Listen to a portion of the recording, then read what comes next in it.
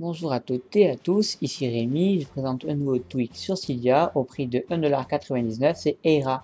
Donc comme vous pouvez voir, change totalement. Le lock screen, donc déjà euh, un style iOS 7 avec l'intégration de Notification Center avec des widgets comme le Wi-Fi et tout, donc c'est un peu le NC ou le Control Center d'iOS 7.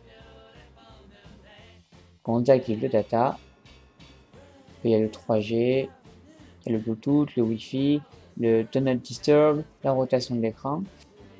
Donc on peut voir aussi que le slider est devenu transparent avec le raccourci pour l'appareil photo comme pour l'horloge. Donc il n'y a pas vraiment d'option pour ce tweak. Donc on va aller dans réglages, dans la section Cydia, ensuite ERA. Donc on peut juste changer les widgets de place et désactiver ERA. Donc c'était Rémi, merci à toutes et à tous d'avoir regardé cette vidéo. À la prochaine.